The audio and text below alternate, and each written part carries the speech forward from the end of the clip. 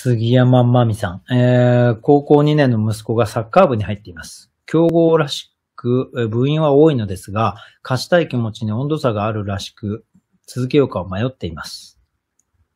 ん？うん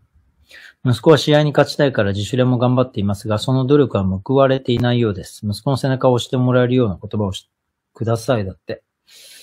うーん、そうだね。スポーツで、やっぱり成功するとか、チームの中でやっぱり自分のポジションを獲得するとか、例えば日本代表がね、そういったものに向けてこう、を進めるためにはいくつか要素があって、やっぱりまずそのスポーツで、例えば自分が担うポジション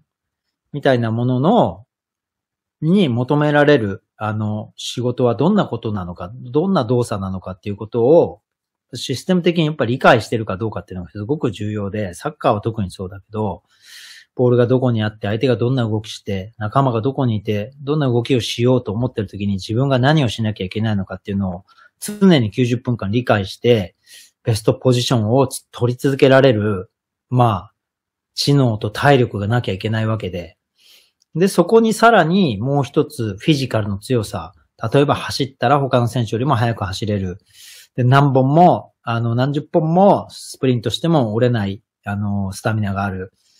うん。で、当たり負けしない、あの、フィジカルの強さがある。それも鍛えられるし、うん。だサッカーの戦術が鍛えられないんだったらフィジカルを鍛える。ね。そしてあとは、まあ、ボールコントロール。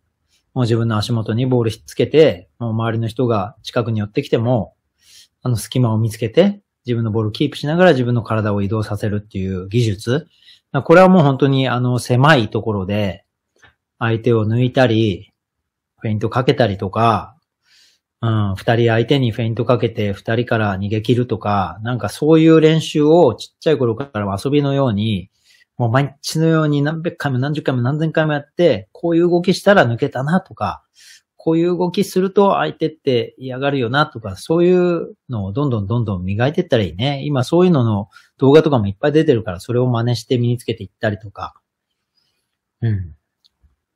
そうね。あとやっぱボールコントロール、そのパスだったりとか、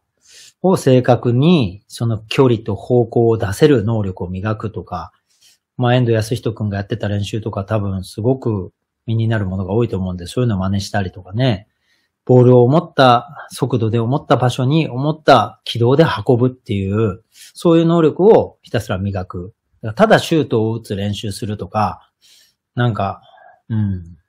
ただ鳥かごやるとか、なんかそんなんだけじゃ磨けないものいっぱいあるんで、